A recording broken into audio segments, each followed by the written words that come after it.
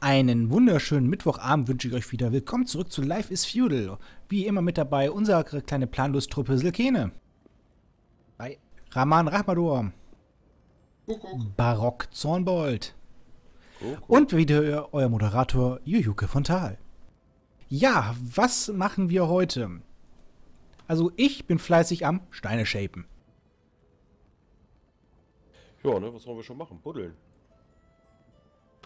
Dumm gucken.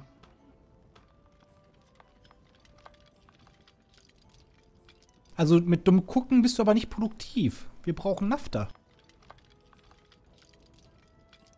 Nimm dir was aus dem, äh, aus dem Lager. Ich wollte sagen, das hat er heute schon produziert. Jetzt müssen die Kräutergärten wieder ran. Ah, okay. Die brauchen nur mal ein bisschen.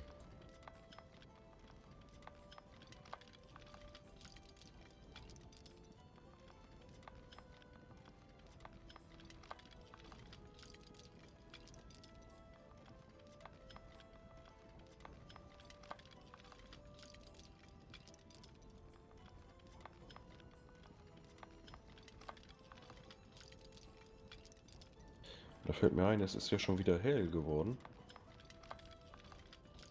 Die Zeit, wieder eine Runde auf die Knie zu rutschen.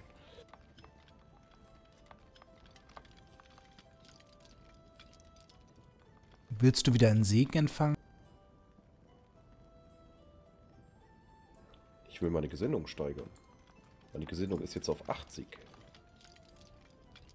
Warum? Er will Papst werden. Richtig. Und wenn ich mal sterbe, kriege ich weniger Abzüge. Sind wir nicht alle Papst? Nee, das waren wir. Welches Land ist denn jetzt gerade Papst? Argentinien. Wer ist das? Argentinien? Ja. Das ist ein Argentinier? Ja.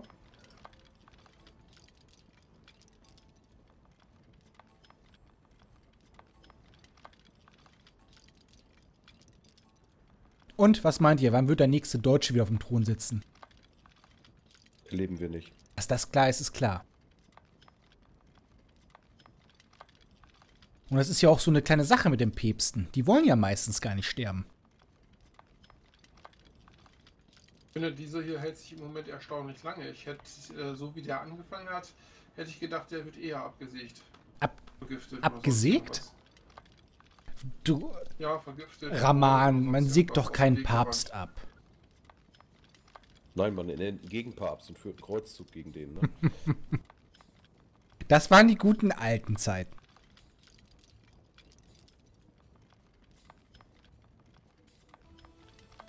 Es ist schon geil, wie er sich so langsam auf den Karren setzt. Ne?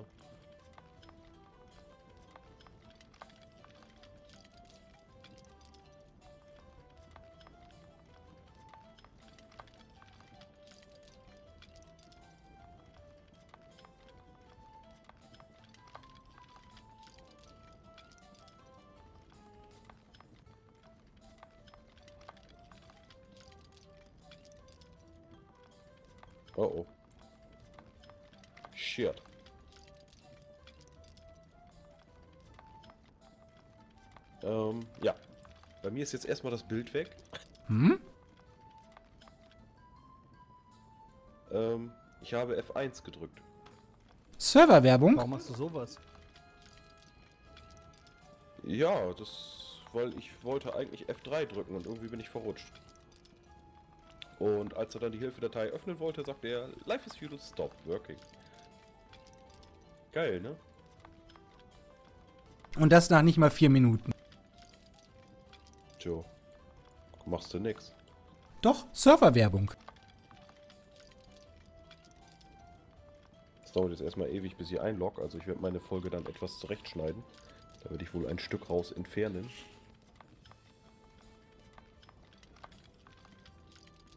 Weil jetzt irgendwie drei Minuten schwarzen Bildschirm tut ja auch nicht Not. Nein? Ich finde das immer sehr entspannt.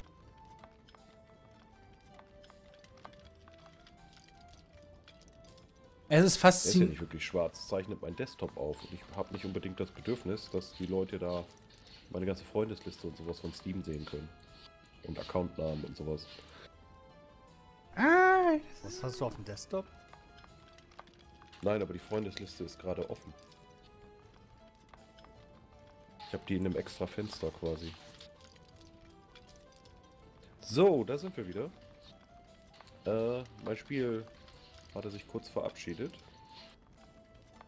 So, also wenn ihr einloggen wollt, ne, Server planlos, IP und so, steht hier unten in der Videobeschreibung und Passworteingabe ganz einfach. Ne, mit großem P, okay. Und dann sollte es auch gleich schon losgehen. Dann klickt ihr auf neuen Charakter erstellen und schon seid ihr bei uns mit dabei. Müsst natürlich dann noch die Welt runterladen. Ne? Das dauert dann auch noch ein Momentchen.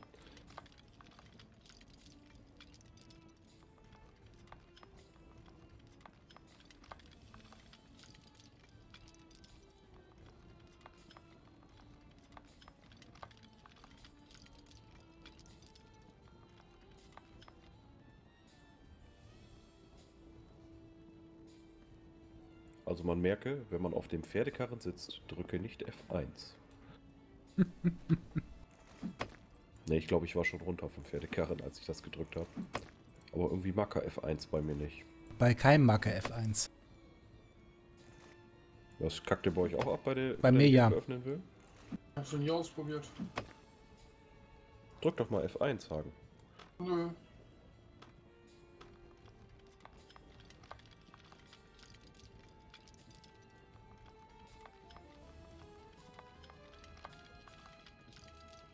Gut, dass das nicht so weiß ist.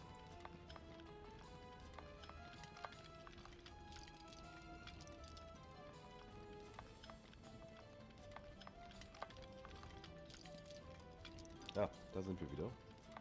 Textur gerade ein bisschen matschig. Aber das gibt sich gleich wieder. Es irritiert immer, dass die Texturen am Anfang so matschig sind, ne?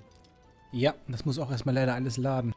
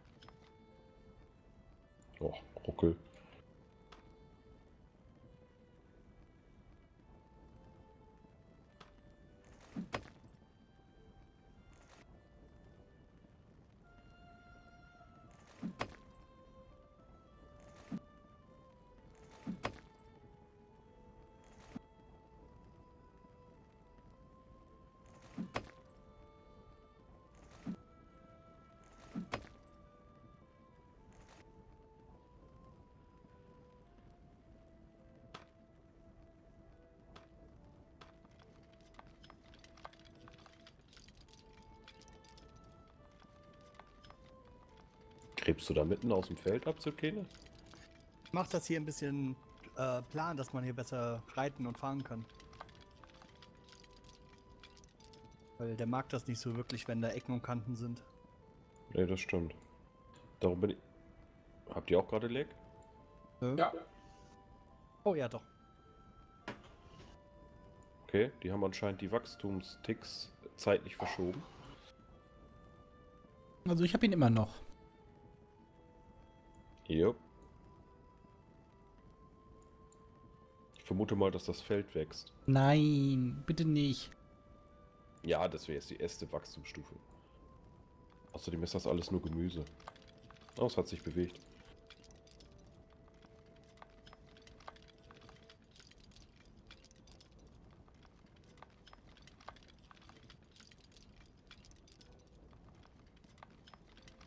Kurze Aufgabe.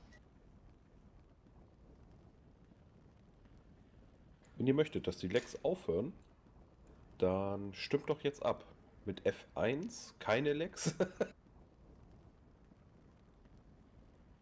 Und mit F2 jede Menge davon. Alt F4 klappt auch.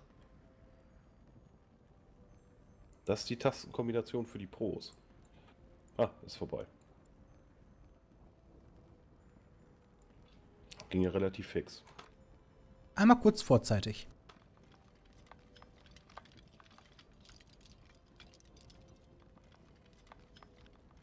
Lustigerweise klappt das bei fast allen CS-Lern. Wenn du ihnen sagst, Alter 4 öffne das Cheat-Menü. Siehst nur blub, blub, blub, blub, blub, alle weg.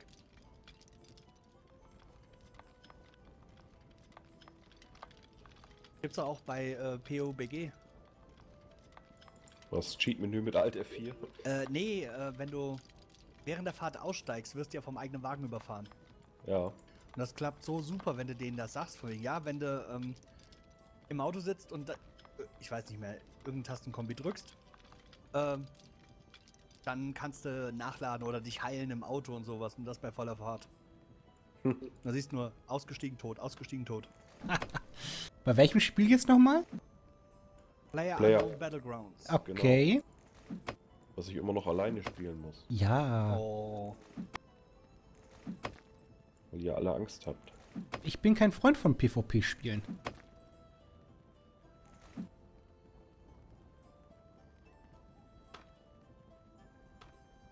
Deswegen spiele ich ja auch nur Heroes and Generals, Call of Duty, Battlefield. 1942 wohlgemerkt, das Klassiker. Fand ich auch immer noch am besten, ehrlich gesagt. Da warst Ja. du ja auch ein Pro mit den scheiß Fliegern. Ja, Bodenkontakt in vollem Flug, kein Problem. 20 Infanteristen in einer Reihe, 20 Tote. Fand die Mod Desert Combat cool davon.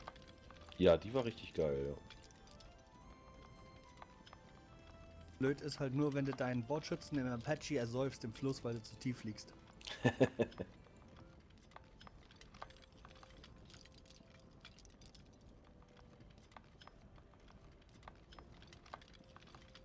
Ah, ich war mir immer. Ich, meine, meine bevorzugte Lieblingsmod war Forgotten Hope.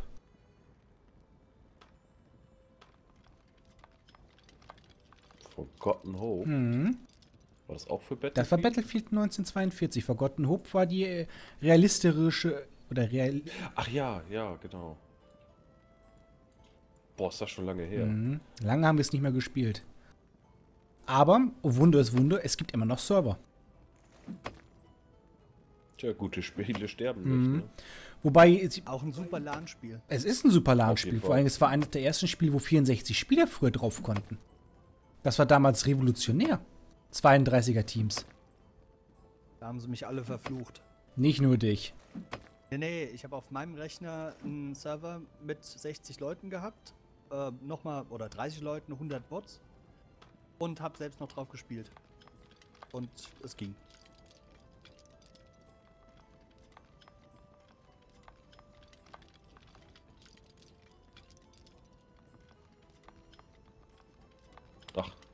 Ich will die ganze Zeit hier weggraben und wundere mich, so nimmt er keine Erde weg, ja, weil das Inventar voll ist. Sollst du des Öfteren reinschauen. Ich bin jetzt schon wieder fast die ganze Folge dabei, Steine zu schlagen und das in Formstein umzuwandeln.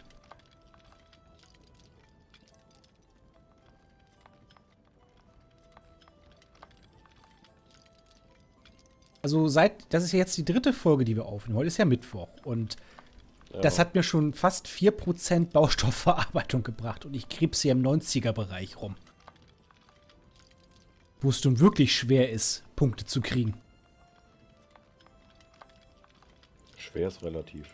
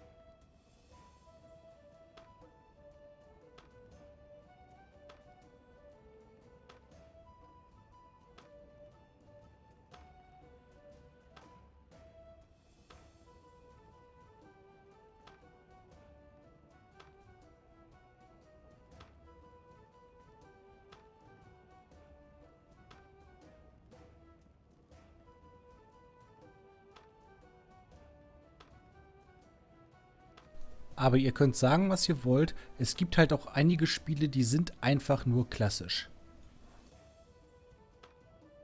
Also da kam irgendwie die Nachfolge überhaupt nicht dran. Und das ist nun mal Battlefield 1942.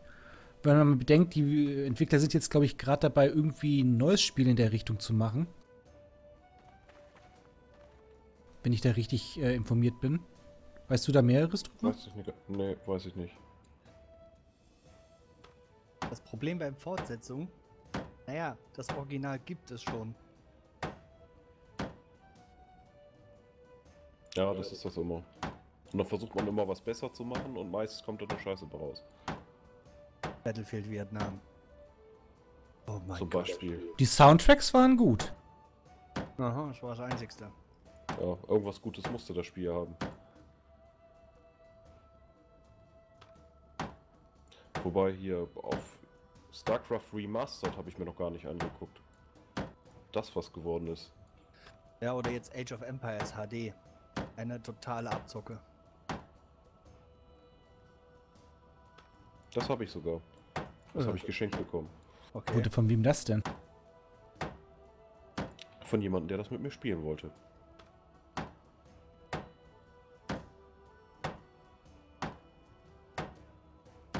Das ist das originale Spiel, nur mit überarbeiteter Grafik. Und so kannst du dir auch StarCraft vorstellen. Es ist das gleiche Spiel, nur mit be- äh, aufgemotzter Grafik. Aber dafür dann, was, 10 Euro zu verlangen oder wie viel sie da wollen? Weiß nicht. 15. Das ist Age of Empires. Nee, StarCraft.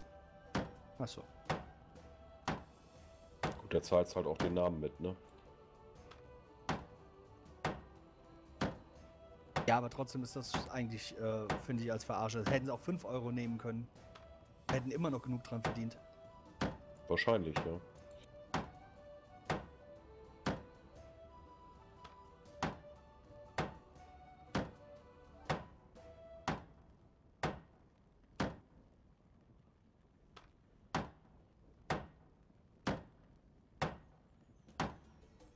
Aber das ist auch wieder Jammern auf hohem Niveau. Wisst ihr noch von früher, wie schwer es war, wenn man ein altes Spiel zum Laufen bringen wollte? Ja, Boah. Da hat. Steam vieles viel vereinfacht. das stimmt, ja. Auch wenn es am Anfang echte Probleme und Shitstorm gab. Ja, ja, ja. Ja, aber trotzdem, so alte Spiele und sowas, die, sie immer wieder mal, die waren immer auf dem neuesten Stand, haben, haben es waren an das Betriebssystem angepasst. Ja, das war schon gut. Ja, ja. Ich sage nur X. Komm. Die alten Teile. Mhm, die richtig guten alten Teile.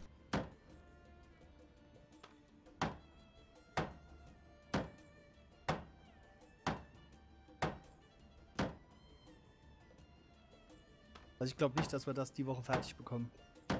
Das hoffe ich Ja. Was, auch. die Baustelle?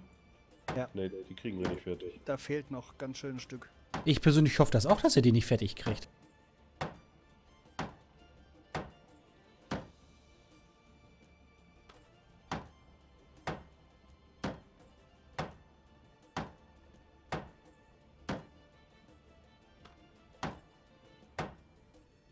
Ich gönne es euch natürlich, dass ihr die Baustelle fertig kriegt, aber dann komme ich nicht hinterher. Dass wir die fertig kriegen, das sehe ich nicht. Trotzdem Karre mit 3000? Ja, weißt du, was das trotzdem für eine Arbeit ist? Also ich sag's mal positiv so, ich bin jetzt auf 85,29.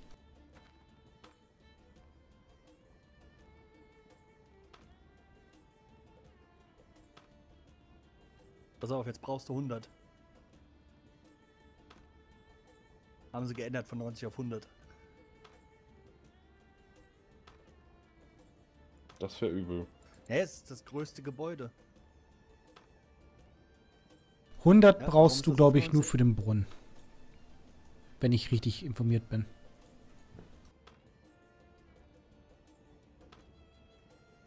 Ich persönlich finde das schon übel genug, dass du jetzt für jeden kleinen Scheiß diesen scheiß Formstein brauchst. Weil das ist richtig aufwendig jetzt.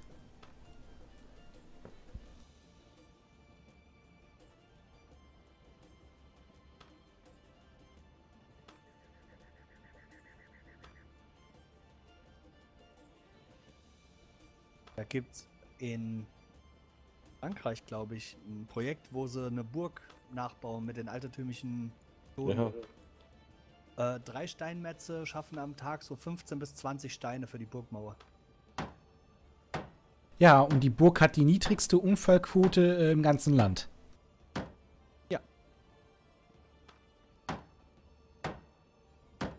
Ich glaube, auf der ganzen Baustelle gab es, äh, seitdem es sie existiert, sie ist ja inzwischen ja auch als archäologische Ausgrabungsstätte anerkannt.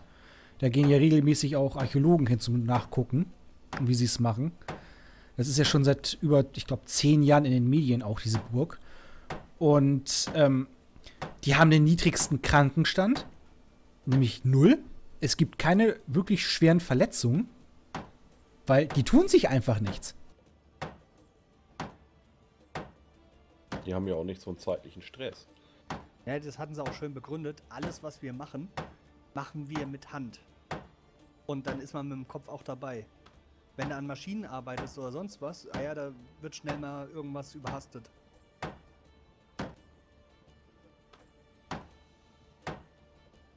Aber am besten fand ich jetzt den letzten Artikel, den ich darüber äh, geschaut habe. Da haben sie das Wasserrad, also die Wassermühle neu gebaut. Und diese Abnutzung im Holz, dass irgendwann das Holz so weit abgenutzt ist, dass es sich selbst schützt. Die hatten immer Angst, dass die ganzen ähm, äh, äh, Zähne in dem Holz brechen, im Rad. Und die haben, das Holz hat sich zwar abgenutzt, aber bis zu einem bestimmten Punkt. Und dann blieb's so. Dann lief die Maschine einwandfrei.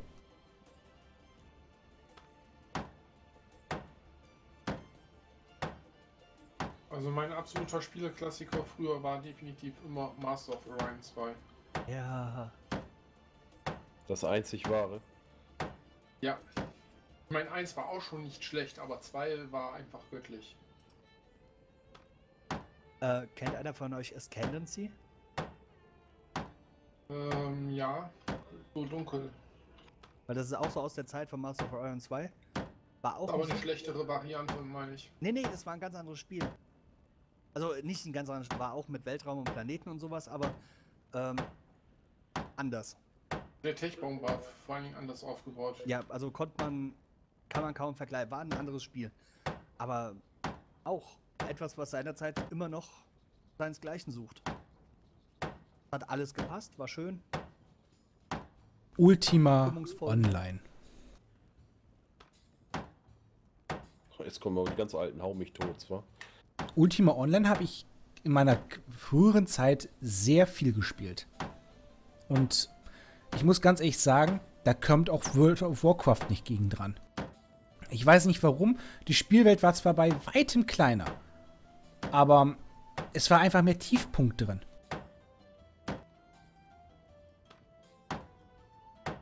Und wenn du den passenden Server hattest, kanntest du auch wirklich sämtliche Leute. Dir ist klar, dass du für so eine Aussage tierisch geflammt werden wirst, ne? Es ist Aber meine Überzeugung. WoW ist zwar. Ich muss. Ich hab's gespielt. Ich stehe dazu. Ich habe WoW gespielt, auch sehr lange Zeit. Ich habe drei Add-ons mitgemacht. Und es hat mir auch einen Spaß gemacht, aber WoW ist nie wirklich an die Tiefe von Ultima Online auf meinem Server Schattenwelt Hat es niemals rangekommen. gewollt. Hat es niemals gewollt. Das war für die Feierabend-Gamer genauso gedacht wie für alles andere. Ja, es war halt ein Massenprodukt. Ja, teilweise. Am Anfang noch nicht mal so. Wenn du guckst, ähm, bevor das erste Add-on kam, war äh, der Pechschwingenhort die, die höchste Inni. Die haben auf einem Server vielleicht drei, vier Gilden gesehen überhaupt, von tausenden von Leuten, die auf dem Server waren. Alle anderen sind da nie hingekommen. Das nenne ich noch nicht casual. Ja, das stimmt.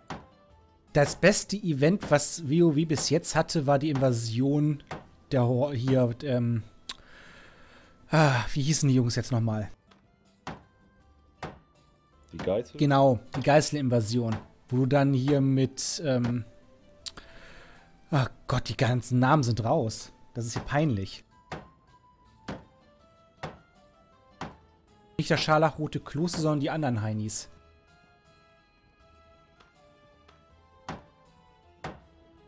weiß nicht, ich kenne mich mit der Welt nicht so aus. Mein Wissen beschränkt sich auf Warcraft 3.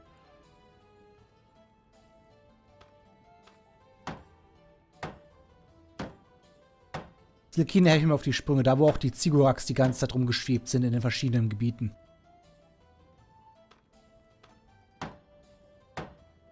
Äh, ich war Allianz-Spieler. Das war ein Event Allianz Horde, das war ein Server-Event. Die Todesritter? Nee, davor. Noch davor. Bevor jetzt hier Naxramas gekommen ist. Das war ein Vorevent zu Naxramas. Molten Core. Nein. Naxrama, Vor, vor, das waren wirklich ein, ich glaube, das ging zwei oder drei Monate, das Event. Und das hat dann Naxramas angekündigt. Weil normalerweise waren ja die Schulumanschen und Stratolme die Instanzen im westlichen und östlichen Pestländern. Und dann kam, Okay, ich verstehe. und dann kam Wort. Naxramas dazu.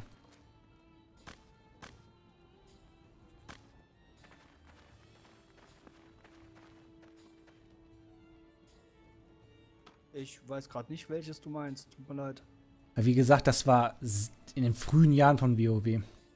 Ja, ich spiele zwar, ich habe seit der Beta gespielt, also wenn, dann war ich dabei. Aber ich weiß jetzt nicht, welches du meinst. Da war, es gab äh, Molten Core ist dazugekommen, dann ist der Pechfeldenhaut dazugekommen, dann sind die 20er Inis dazugekommen. Äh, Ankirai und ähm, Ankirai war auch ein geiles Event. Ähm, die Blutelfen waren noch da mit der Extrainsel, aber das war schon mit dem zweiten oder dritten Add-on, zweiten Add-on. Die Blutelfen sind mit dem ersten Addon dazugekommen. Oder erstes Add-on, war auf jeden Fall mit dem Add-on. Also ich weiß jetzt nicht, was du da meinst. Wenn ihr es wisst, schreibt es mir doch mal in die Kommentare.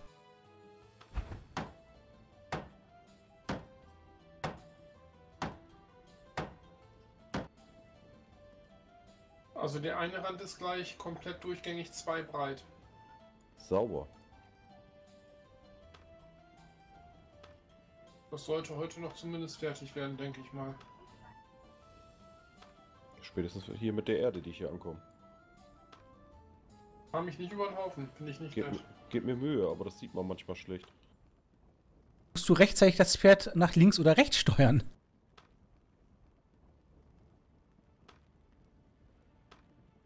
Siehst ja, ne?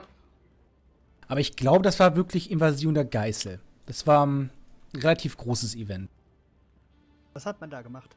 Du bist beispielsweise Ödland, du bist äh, in westliche und östliche Pestländer hingereist und hast da kleine Zigurats angegriffen, die halt von den Untoten besetzt waren. Im Auftrag ähm, ah, einer der Fraktionen.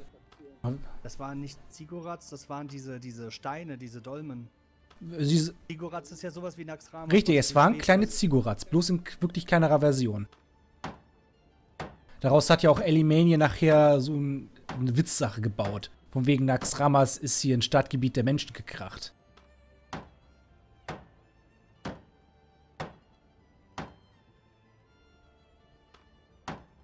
Ich verstehe immer noch kein Wort. Das, das muss man erlebt haben. Daher würde ich jetzt beispielsweise nichts verstehen, wenn du von äh, ähm, Battleground sprechen würdest. Radfahnenmörder. Nein, schützt. Waffe im Spiel. Die Bratpfanne auf dem Rücken erspart einen Rückenschuss. Der ist aber mehr am Arsch, oder? Ja. Die schützt deinen Arsch. Oder wenn du sie in der Hand hast, habe ich schon Leute gesehen, die damit einen Shotgun-Schuss geblockt haben. Gibt's sogar auf YouTube Videos drüber. Da ging die Kugel in die Bratpfanne, weil er gerade zugeschaut hat, statt in ihn.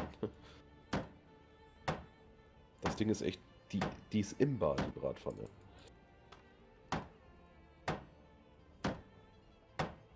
Aber auch garantiert reichweitenbegrenzt etwas unnütz. Weiß Das ist nicht. eine Nahkampfwaffe. Da habe ich schon den einen oder anderen Kill mit geholt. Also wenn ich eine Machete habe und nicht eine Bratpfanne finde, schmeiße ich die Machete weg. Du.